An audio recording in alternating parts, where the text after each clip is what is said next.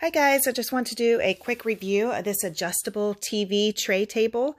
Right now we are using it in one of our guest rooms alongside the bed. It's kind of like a little nightstand table. As you see underneath here, you can adjust it uh, the tilt level of it. You can adjust it by three different levels. You just move that bar to the level you want and then it can tilt.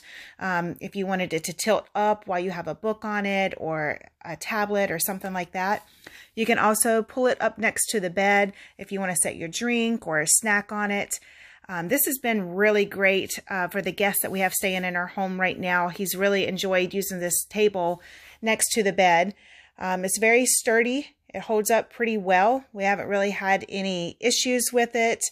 Uh, if you're looking for a TV tray or a bedside table, I highly recommend this one.